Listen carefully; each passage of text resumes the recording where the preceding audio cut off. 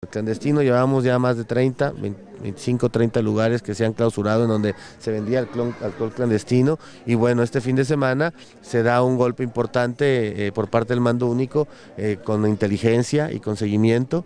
Ya se venía dando este seguimiento a, este lugar en donde eh, si bien se había clausurado por horario, ahora ya se clausura por otras cosas, ¿no? Y se clausura de manera definitiva, no se vuelve a abrir.